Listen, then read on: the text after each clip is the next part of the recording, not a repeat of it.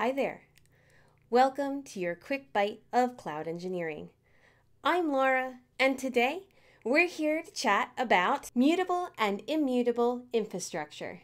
So, what exactly does mutable mean? Well, mutable means changeable or something that can and will change.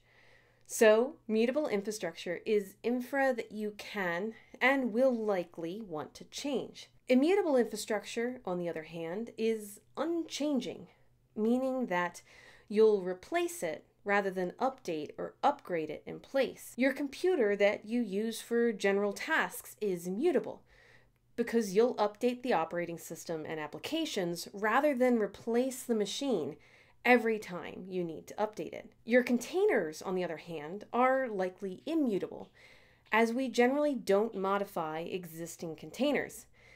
Unless you're taking one container and SSHing into it to debug, it's much simpler and more repeatable to update the image and then replace the container itself. Mutable infrastructures often have been used in traditional data center environments where your team might own various complete components like full servers or other physical hardware that may take long timeframes to replace. As a concept, it's been around longer than immutable infrastructure because no one wanted to go through an entire provisioning process for every change when that process could stretch over multiple days or even weeks, depending on data center availability. As a result, people built tools to manage configuration of multiple servers, tools that would log in and run upgrades in place.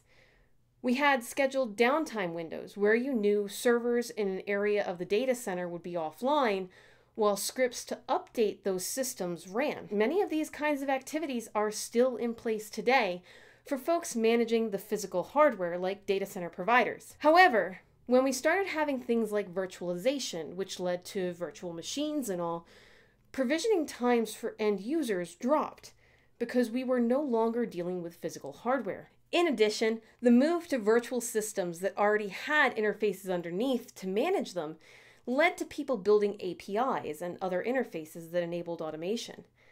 And since we weren't constantly requesting or destroying physical hardware, it became much easier to make virtual systems ephemeral. Why does that matter to cloud engineering? Most, if not all, of the best practices for cloud native architectures rely on immutable infrastructure.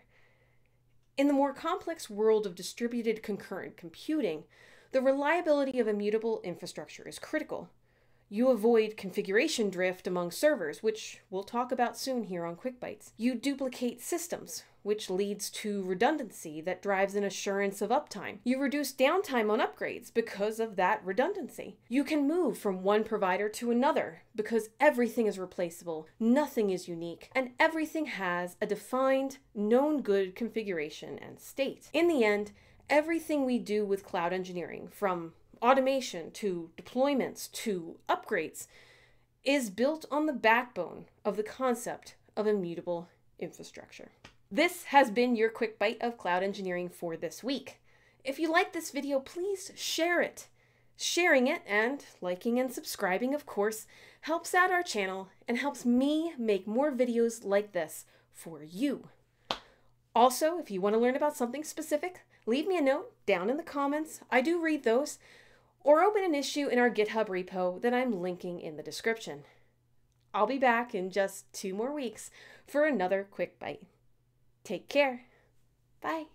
If you have a topic you would love to have us cover here on Pulumi TV, all you have to do is go to github.com slash Pulumi slash Pulumi TV. Thanks so much.